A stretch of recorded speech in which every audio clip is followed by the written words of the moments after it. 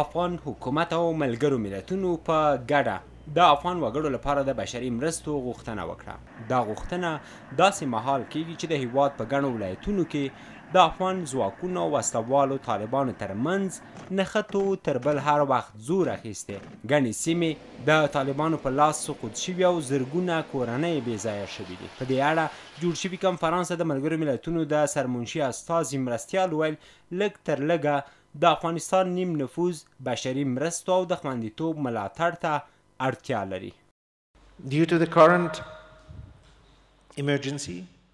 د اوسني بیړني وضعیت او د وچکالۍ له امله دریمه برخه خلک د خوړو نه خوندیتوب ستونزې سره مخ دي او له پنځو کلونو کم عمره ماشومان نیمایي یې له خوارځواکۍ سره مخ دي.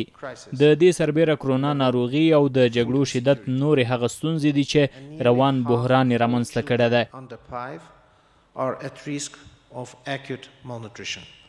د مالیې سرپرست وزیر دغه کنفرانس کې بشري مرستې د انساني ناورین د مخنیوي لپاره اړینې وبللې او ټینګار یې وکړ چې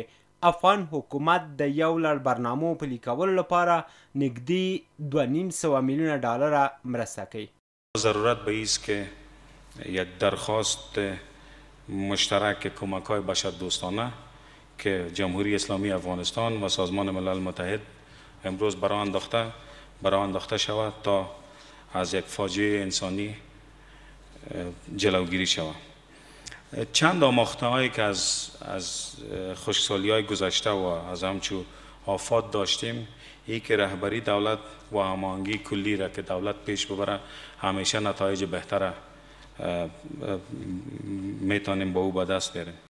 د ملګرو ملتونو د سرمنشي استازي مرستیال بیا ټینګار وکړ چې سږ کال امن او ناامنه سیمو کې لسګونه د بشري مرستو رسونکي په نخښه شوي رامز ټینګار وکړ چې د بشري مرستو رسونکي بې طرفه دي او نه باید په نخښه شي